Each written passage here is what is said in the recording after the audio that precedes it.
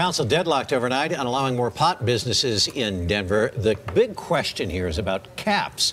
Should there be a limit of some kind? Our Shawn Chitnis live with the story this morning as we keep you covered. Shawn? Well, Alan, supporters were arguing those caps were needed because they thought there were too many businesses related to marijuana in their neighborhoods and they wanted to keep kids away from them.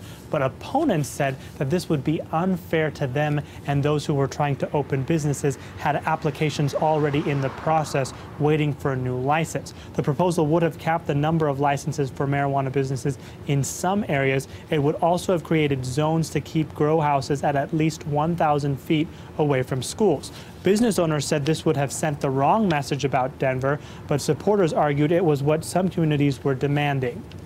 Our neighbors and constituents are upset, um, and they feel like this is now affecting their quality of life. This sends a pretty bad message to business in general. It's risky to invest here.